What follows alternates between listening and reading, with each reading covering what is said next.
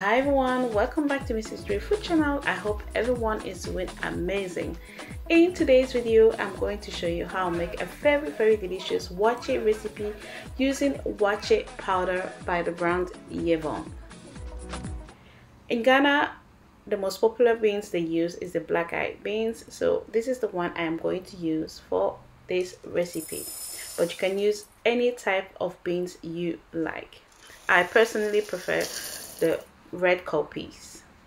So I'm going to add three cups of beans in my bowl and then I am going to wash it. It is always better to wash the beans before you soak it or else you might pull the skin off the beans. So whilst I am washing it, I am also looking for the ones that are not good. So you can see me here removing them. It is very important because some of the beans have got holes in them and you don't want that in your waakye. So this is usually what I do when I am washing it. Next, after washing it thoroughly, I'm going to discard the dirty water and then replace it with fresh one.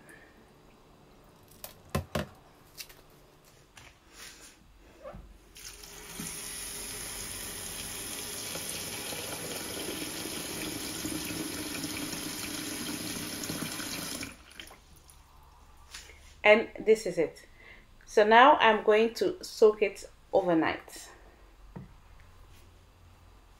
Hey guys, so we are the next day and I'm about to start my waakye. I'm going to use Yevon waakye powder and it is the next best thing in town. So instead of using the leaves, you use the powder and it's so quicker.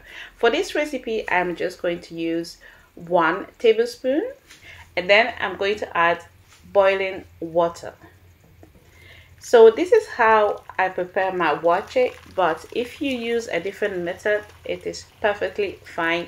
You can also use this waakye powder, however style you use to prepare your waakye. Next, I'm going to add in my soaked beans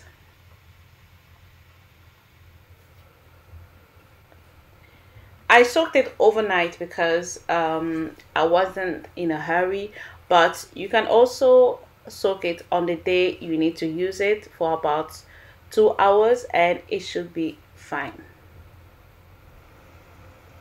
And have you seen this amazing color? I really like the intense red color of this waakye powder. It really is a time saver. Look at this. Next, I am going to add a little bit more water. It depends on the quantity of waakye you are preparing. Put the lid on and let it cook. I'm first going to let it cook for about uh, 20 minutes on a medium heat and then I'm going to give it a little stir and as you can see from the video the color still looks wonderful just going to check how soft it is Next, I'm going to add a quarter teaspoon of baking soda. This is totally optional, you don't have to, but it helps the beans cook quicker. And then I'm going to give it a little stir, put the lid back on, and carry on with the cooking. So guys, I am back and I'm going to check on my beans. It looks cooked now, so let's check. Yes, perfect. So now it is the right time for me to add in my coconut oil. Um, if you are in the UK or in Germany or anywhere, I bought it from Aldi and it is an excellent one. I usually add two tablespoons of coconut oil to it and then I'm going to stir it until it is nicely dissolved. But you can use any type of oil you like or even margarine next i'm going to add in my washed rice and i have got four cups of rice for three cups of black eyed beans. This is jasmine rice by the way. It works with basmati or any type of rice you have. Next I am going to stir it nice and gently. And then I'm going to add my salt make sure you taste the salts because it has to be perfect for you okay? And then give it a little stir. By the way I have seen people adding all-purpose seasoning uh, shrimp powder you add whatever you like to it. So put the lid back on and let it cook so guys I am back. I'm going to check on my waakye it looks marvelous. I'm just going to give it a little stir at this point. And it is not ready yet. It still needs just a little bit more of cooking but it still looks amazing. I am really loving this yevon Waakye powder. Because I didn't have to take out the waakye leaves. It was really straightforward and I love that. So, so friends I am going to let it cook for a few more minutes and I'm sure our waakye will be perfect. By the way how do you like yours?